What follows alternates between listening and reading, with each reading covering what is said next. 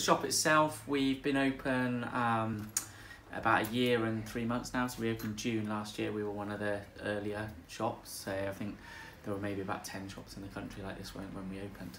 Um, obviously, the whole purpose of it is to um, try and reduce uh, single use packaging, but also we're going, we want to go a stage further than that because um, hopefully the uh, the big companies of packaging things will, will catch on and start making biodegradable packaging and re removing it themselves. So we also, 95% um, of the stock in the shop is organic um, and everything in the shop is vegan as well. So it all goes toward um, you know helping in terms of the saving the environment and sustainability with uh, um, climate change and things as well. So we want to be at the stage where it's not just about paying packaging free.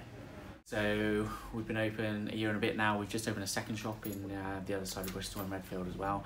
And so far between the two shops, we've saved over 200,000 pieces of packaging in just over a year, which equates to about three tons worth of plastic. So hopefully that's three tons of plastic that's not in our oceans or landfill or, or anywhere else.